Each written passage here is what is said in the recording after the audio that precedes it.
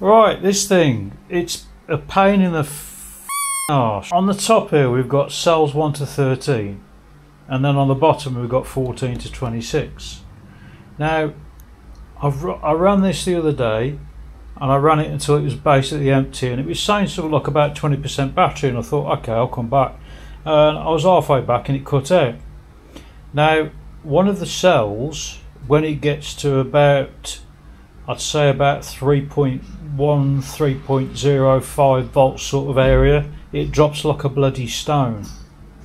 That's one of the one of the downsides of these CATL batteries. Is number one the well, I mean they're cheap, but number two, you, you'll never get a matched pair. Um, I've got all those down there, and I'm making the best out of everything I possibly can, and use the rest for solar. But for electric bikes, they are pretty shit to be honest. So I've got to take this battery out again. Obviously, everything's got to come out. I've got to get access to underneath, and I've got to replace cell number 14, which is the first one. And I think it's over there. It's the one that's connected to the end of this, basically. It's always the bottom ones. I don't know why, but that's the way it works. I mean, even the one that I bloody near enough set fire to, um, that one's alright. It's this one. So when it gets to about uh, 3 volts, probably, I don't know, it might be a bit lower or higher, it drops like a bloody stone, and the rest of them, they're perfect. So that one's got to come out, and it is relatively easy to take these things out, believe it or not. You might think that I'm not safety conscious because of the videos I've released. I've released those videos so you don't make the stupid mistakes that I do because that's what I'm here for, is to teach people, believe it or not. So, just take note of what I do and avoid it. It's it's things like when you're taking a, uh, taking a nut off and, and there's a washer beneath it and a bus bar, take the nut off, put it down. Take the washer off, put it down. Take the bus bars off, put them down. One at a time if you have to or whatever but make sure you it's damage limitation basically. It's to stop things from happening. Because if you just undo a nut like that and you spin it and it comes off then it's gone somewhere and nasty things happen. And also when you've got your socket like this you you, you, you undo a nut and you're tempted to do that right? Don't do that because when you lift this thing off that nut can go anywhere. So always loosen it with a socket. Take it off with your fingers. Make sure you've got contact all the time. Don't spin it. Don't do anything because nasty things can and will happen. So I've got to carefully get this out with my where are they? I carefully put it in here. Make sure that there's nothing in the way. I put my glasses down so I can see what I can do in what I'm doing and hope they don't fall off.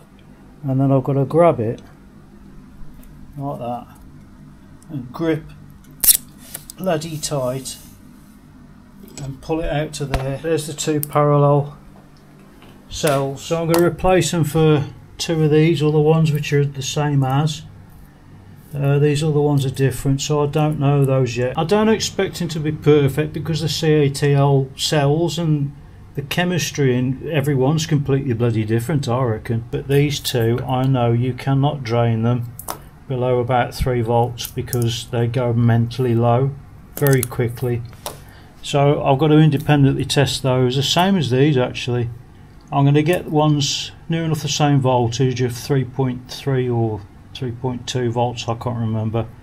I'm going to slap them in and everything is going to be perfect. These two have been sitting over there for I don't know a month and they're still at 3.3 volts so I know they're holding the voltage. Like I say, it all depends on chemistry. I think they must put a spoon of dog shit in some of them. I ain't got a clue. Simple as that. Now I've got to connect the series up, put it all back together, and away we go again. I'm just putting the screws back in here. Uh, I've got to put the screws in the front. And then I've got to put the battery cell, the four parallel cells in there wire the series link up, put the balance wires on, and away we go. And hopefully, this is the last time I ever, ever have to take it apart. Doctor in the house. doctoring. I don't like doing this with one hand. Positive, negative. No, hang on.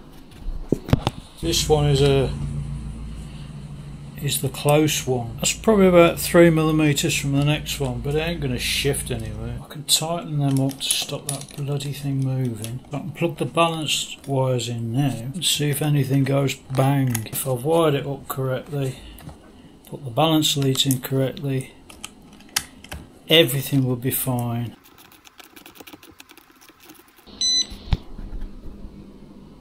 So cell number 14 was 2 3.9 3.3 that's correct. That's what I had it set to. So I need to charge balance and hopefully that one now cell number 14 will go down in, in, in correspondence with the rest of them which are all at pretty much the same. So I'm going to get the charger on it and see what happens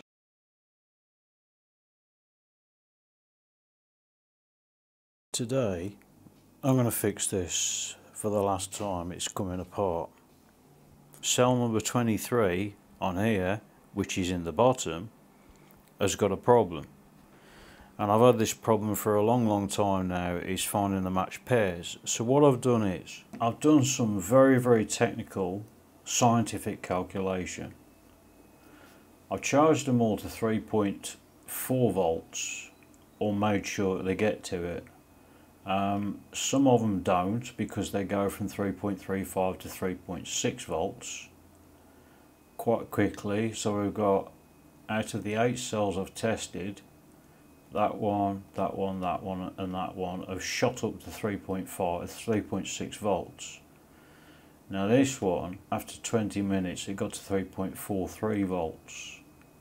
So I started at 3.4 volts and then after 20 minutes it got to 3.3 for 3 volts. I know it's not it's not a perfect scientific calculation. I know I've got to do the internal resistance or read that, which I haven't got the equipment to do, and I won't have. So I'm trying to find out a scientific way that I can do this. So that's the only way I know. Well, that's the only way I can actually figure out. Now I've got to do a, a, bottom test as well, not on myself. Um, I'm not having that done again. That was the most unpleasant experience ever. so I've got to do a bottom test whereby some of these cells, there's two problems, is the charging and the discharging. So it's, it's you know, it's the battery completely. So the charging goes to 3.35 volts or thereabouts, and then the voltage shoots up. That's one problem. And the second problem is some of them go down to 2. Uh, 2.9 volts I think it is and then the voltage drops like a bloody stone. When I first built this uh, the missus went out and she was having fun doing shopping and stuff like that that women do and she ran out of juice and I can't let that happen again because when she came back some of the cells were at 3.2 volts and I thought well I don't quite understand why uh, one cell dropped like a bloody stone and now it's sitting, it was sitting at about 3.1 volts or something like that. It was sitting at 2.9 volts and I thought well that's not really a very good cut-off is it? I can't do logs like VBMS when it was done uh, it logs all the data so I can see if there was any dip that was the good idea that was the good part about it was was the data logging but you can't use it anymore because they've changed the the the, um, uh, the BMSs. So I've got no real way of logging data unless I buy a data logger. And I'm going to take the thing apart for the last time and then we'll see where we go from there. And I'm going to go, go out and do more testing on it. Hopefully I can charge it through to 3.4 volts now. So I know I can charge the 3.2 volts on them um, but I want 3.3 or 3.4 anyway I'm gonna take it apart. Here goes for the very last time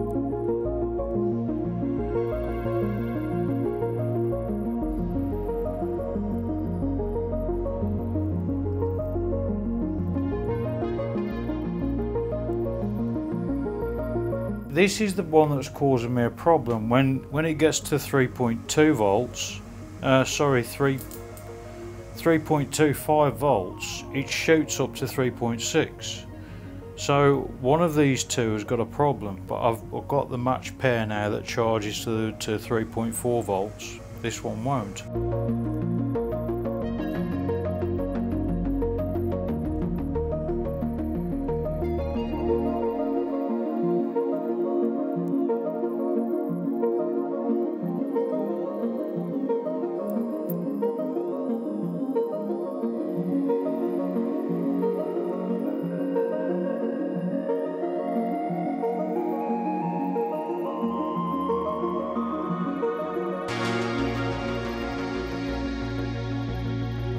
while this is off I'm going to plug the charger in and we'll see what happens I need 3.4 volts I want 3.4 volts but I'm happy with 3.3 which is basically what it's at at the minute I'm wondering if I've changed the wrong one you know 23 is now going up not in accordance with the rest. Is that the one I've changed? I'm going to have a look at my videos to see what I've done. Who designed this piece of shit? I'm taking it apart again for God knows how many times. Cell number 23 is always high. Always high. And I don't understand why. I've charged it and now that cell 23 is at 3.56 volts or whatever. The rest of them aren't. This charger, I've just taken it apart. I've noticed a switch. There's a constant current, constant voltage switch. It's on constant current. So as you can see I've got half an amp at 87.7 volts which equates to near enough what the BMS says that says 87.3 volts. Now as you can see although cell number 20 seems to have gone skyrocketed 21's gone skyrocketed as well 23 is now at 3.517 volts. Now that yeah it's still going up. Uh, 518 519 520. I don't get it.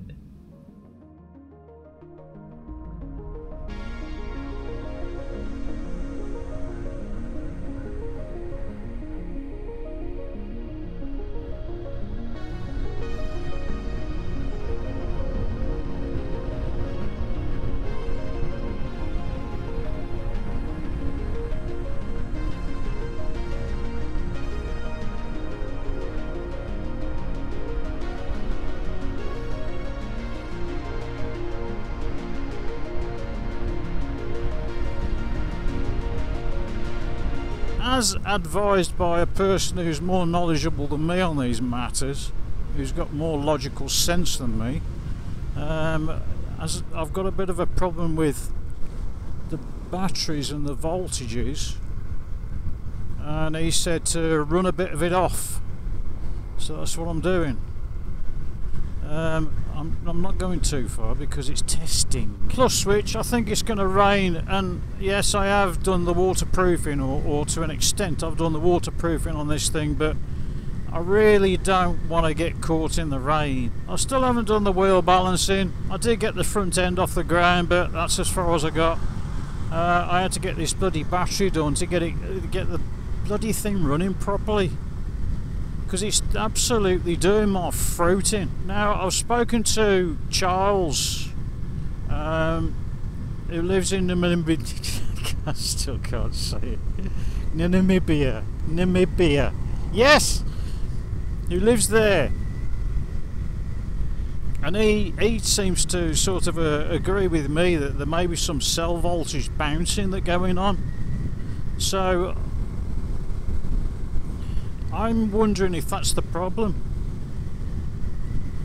So according to this it says I've got 50% battery or 67% that's purely because some of the cells are charged to 3 point whatever. And I have got an average voltage of about 3.3 3.35 or something like that which I worked it out that I lose something like about 40% battery and that actually that meter actually agrees with me. So I've I've got to get this figured out. So what I'm going to do is I'm going to run this for a while and then I'm going to leave the battery pack overnight to balance and then I'm going to come to it tomorrow and charge it and see what happens and see if that one cell goes high. Fingers crossed. You know, you often see people that stopped at the side of the road picking grass. I find it quite strange.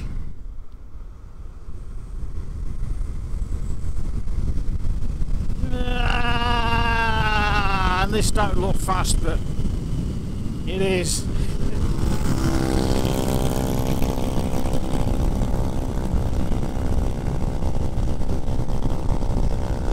We'll see what the voltage says now and see if the if the charger actually charges it properly.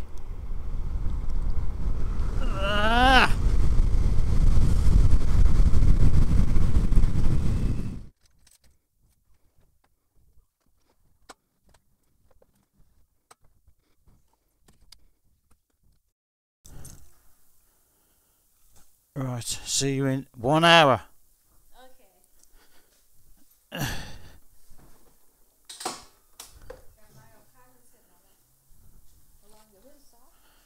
I done my yeah.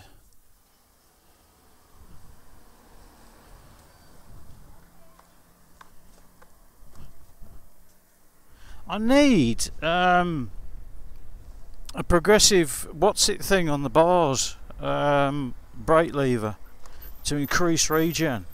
I think I think that might be the way forward. Oh, and also I need to straighten the back wheel. oh,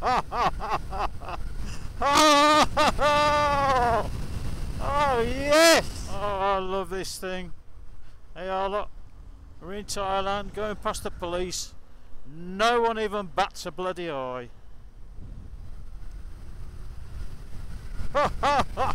oh my god, this thing pulls like a train, man. And it's quiet. I mean, I'm doing a ton now. Oh, this is a Patreon only. I'm doing a ton down here. Oh, actually, no, it's a 120. Is it 120? I can't remember. So I'm doing a bloody ton down here. And you can probably hear what I'm saying. It just goes to show how much the ADV resonates through the helmet. oh, the power of this thing is incredible. How it just goes like this. Even at this bloody speed, the torque is massive. Oh, oh, oh, oh. Banking it, banking it. Go on, son. Go on, son. Oh. They all slow down at bends. It's got an endless amount of bloody power. Even in second, I don't use first unless I'm going through like populated areas. This is where I get my medical massage, right? And it's a private place and it cost me 350 but he gets rid of every problem that I've got and you don't use traditional sort of ways I suppose it's elbows he uses but I really do need to keep this undercover if I can. Is that possible?